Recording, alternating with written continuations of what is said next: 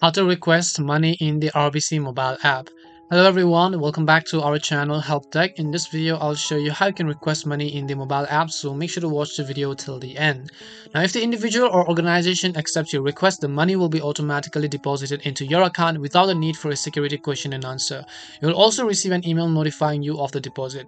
Now, you can send a request of up to $10,000 and you can have up to 25 active requests at a time. Request will expire after 30 calendar days. And you can also resend the request up to 3 times within 30 days if it's, it hasn't expired or been cancelled. You can also update the amount and optional due date of a request up to 3 times within 30 days if it hasn't expired or been cancelled, and requests are free for personal banking customers.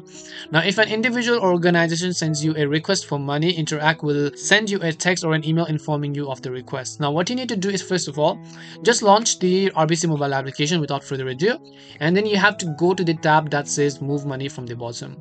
Once you go there, choose the option called Request Money and now select a request from which recipient. So just go ahead and select a random recipient from which you want to request money.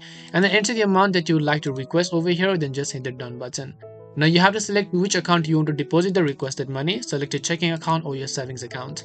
And then you have to enter the invoice number which is also optional by the way. But if you do want to and if you want to fill out the dates then you can go ahead and do that. You can choose a request date which is again optional but i'll just do it for the sake of this video.